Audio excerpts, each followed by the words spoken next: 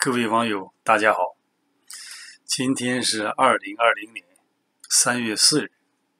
今天来谈谈陈薇，也就是部队的少将啊，也是中国工程院的院士，一位非常了不起的哈，这个卫生防疫这方面的一个科技人员呢。这个他发明了，已经发明了这个。关于新型冠状病毒的疫苗，这条消息应该是爆炸性的，但是不太清楚为什么现在官方的媒体还没有正式报道，只是从网络上看到这么一条消息，给大家看一看啊，很有意思。讲到什么呢？国务院副总理说，孙春兰看望军事科学院、军事科学院医学院陈薇少将和专家组。说是什么呢？全世界啊，就第一支新冠状病毒的疫苗已经注射到了这个陈薇的这个左边这个手臂啊。说专家组七名共产党员注射了新型冠状病毒的疫苗，时代军人威震威武中华等等啊。这一看就国内的官媒哈，做什么事儿都是和这政治啊。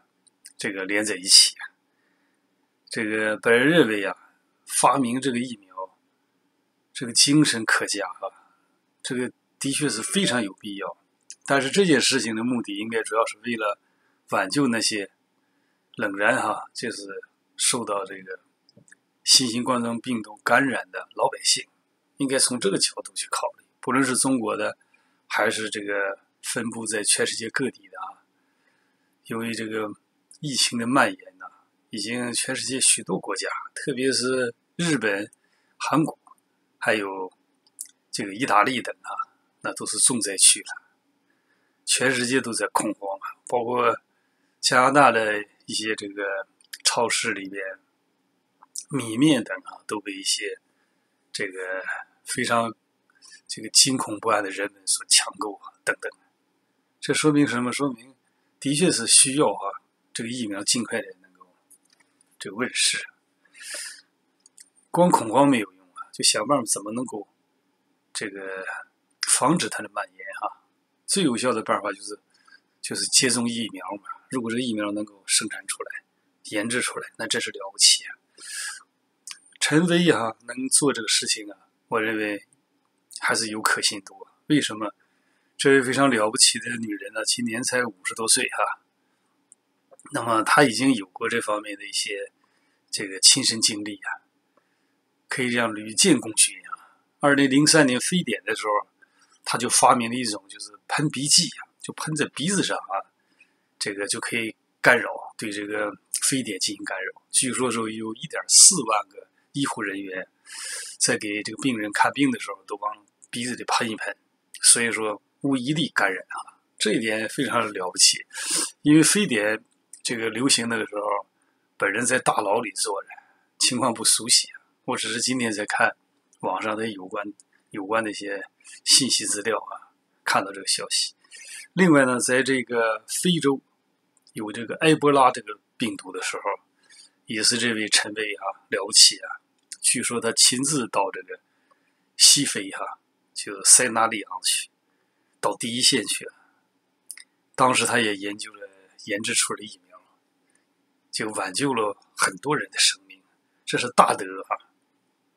那么这一次呢，说是这个习近平非常重视他，说习近平亲自点将啊，让他到这个武汉去啊。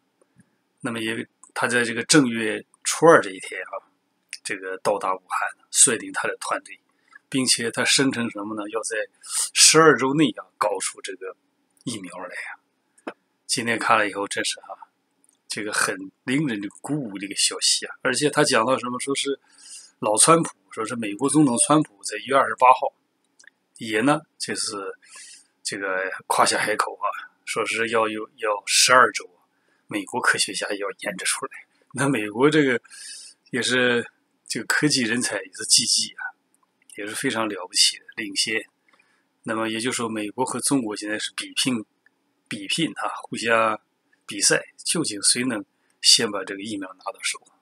谁要拿到手，我相信说不定能获得这个诺贝尔的医学奖啊！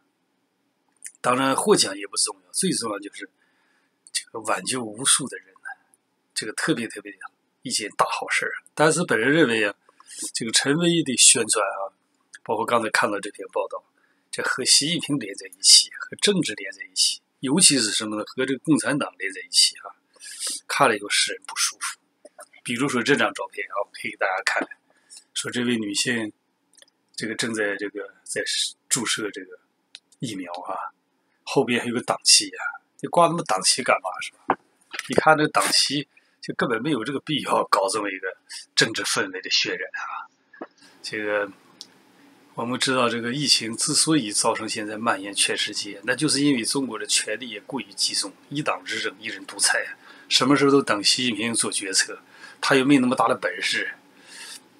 耽误了有效的时机啊！你想，习近平不召开政治局会议，不成立这个防疫领导小组，下边的人没有积极性。周先王，周先旺不是讲过讲到了吗？武汉市市长讲到这个疫情数字的披露啊，没有授权，下面不敢动啊。这的确是符合官场的实情，否则早就把这个周先旺抓起来了。可能正因为这一点不太好办这件事儿啊。那么。这次发发生这个疫苗啊，人们应该深深刻的反思。首先反思体制的原因呢，恰恰是因为共产党的集权统治啊，造成了这个当务的时机啊，使这么多的这个武汉人呢，特别是包括湖北的一些人，这个失去了宝贵的生命。到现在为止，湖北人现在还在这个呃，在这个封锁城，在在这个这个。封闭啊，封城这个不自由的这个状态下生活，就如同坐牢一样啊！我昨天看到网络一个消息，说是有一对老的夫妻啊，这个老头老太太，由于家里没有吃的东西，社区送的这个菜呀，米面不及时啊，他们又不会上网，不会在网上求助，所以说双双手拉手的从楼上跳下来，这是非常悲惨的。那就说明什么？说明武汉人啊付出了惨重的代价，而且现在仍然在这个付出代价呀。说这个是特别特别严重的后果，就是因为这个中共这种党制啊造成的。但是呢，现在这个事情就宣传啊，反的宣传。你像他这个注射一个疫苗这个事儿，那就是你是不应该搞这么一个一个这个一个这么一个镜头啊。看了以后，让人心里觉得。很很这个不舒服啊，但是没有办法，中共就是这样吧。他这个就像网上现在用的一个词句讲的非常好，就是说把这个丧事儿当成喜事儿来办了，把这些好的贪天之功归己有，把这个责任都推到别人身上，小组长这个推到李克强身上啊，有了成绩都是我亲自指挥，然后这个疫情还没有战胜啊，仍然在肆虐，每天都在增加。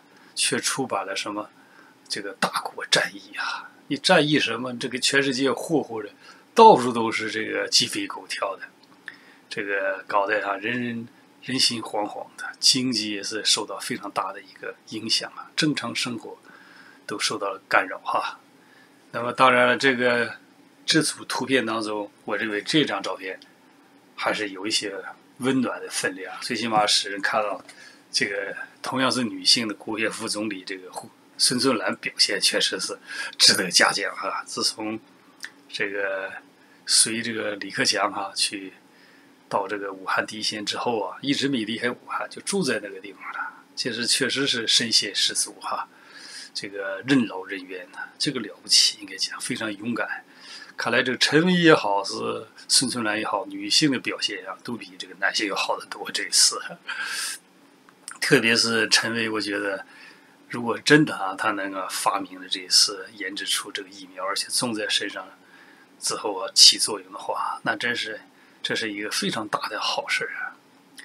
现在人们就普遍都把这个注意力放在什么呢？怎么能够这个躲避这个这一场这个肺炎的瘟疫哈？都是想办法怎么能撤侨，怎么能切割，怎么怎么能躲避，怎么能够就是隔离。统统研究在这里，其实主要的精力应该放在什么呢？放在疫苗的研制，因为你人生活在这个这个世界当中，你不可能啊不接触细菌的。你再注意啊，再精心的策划，你总要就是说平常衣食住行啊，总要交际啊，总要这个出行，难免遇到各种各样的人。你不可能整天和健康人打交道，你自己也未必是健康人呢。这个细菌病毒都看不到啊，这个无所不在呀。所以说，关键是要有疫苗，有了疫苗就不用恐慌了，每个人都注射一下，那么，那么很快就战胜这个病毒了。所以本人并不是太就悲观的。我看到网络消息，有的讲说是这个疫这个新型冠状病毒啊，胜过 SARS。上上百倍是上千倍的，说估计将有全球将一人一亿人啊感染。于是那些什么超市啊、商场啊，特别是 Costco 啊，这个等等一些这个这商店呐，那个里边些卫生纸啊、那些那些米面啊、油啊，这个等等啊，抢购一空啊，甚至那个温度计还有这些。这个什么清洁剂啊，我都叫不上名字。那些杂七杂八的东西，都是过去都是销路不畅的东西，现在成了抢手货了。这都非常不正常，造成一些恐慌情绪啊。人们没把注意力啊集中到什么呢？这个疫苗的研制啊，围绕这个问题发挥啊，这个全世界各地的科学家的聪明才智啊。那么在这种情况下，这位叫陈薇的女士啊。了不起啊！解放军的一个少将啊，她这个少将可不像宋祖英，宋祖英是靠唱歌，靠这个巴结江泽民啊上去了。人这个陈薇是真正的这个一个人才呀。今天我从网络上查阅他的这个有关的这个报道以后啊，感到非常有意思，而且这个人很有这个人情味儿啊，个人生活里一些浪漫故事很值得在这里这个给大家讲一讲。也就是说他。和他的先生的这个结合啊，互相的相识，具有这个很浪漫的这个传奇色彩。说是在一九八九年四月二十八号的时候，说陈薇和这个他的先生叫马一鸣两个人呢，在一辆火车上偶然相遇啊，北京到济南的列车上。当时陈薇没有坐没有坐席啊，这个马一鸣呢，就是当时是青岛一个工厂的技术员呢。就比较善良吧，哈，或许是也是一下就看好这位陈薇这位二十三岁的这个女学生啊。当时这个马一鸣是三十五岁呀，他们一见钟情啊，他把坐席让给他，这两个人就认识了，后来就结成夫妻了。据说是感情不错哈。看到网上《中国妇女报》篇文章，把这个故事渲染的很有意思，说是他们第一次见面就碰出了火花。至少从这个故事可以表明，这个女人。具有非凡的判断力！一般女人她她轻易不会给一个陌生男人这个电话号码的哈，留一个联系方式，这种方式很少。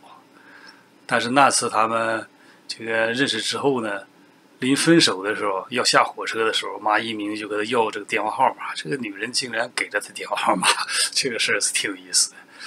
通过这个事情看到这个看到这个女人，她对这个事物的判断，包括人的判断比较准确。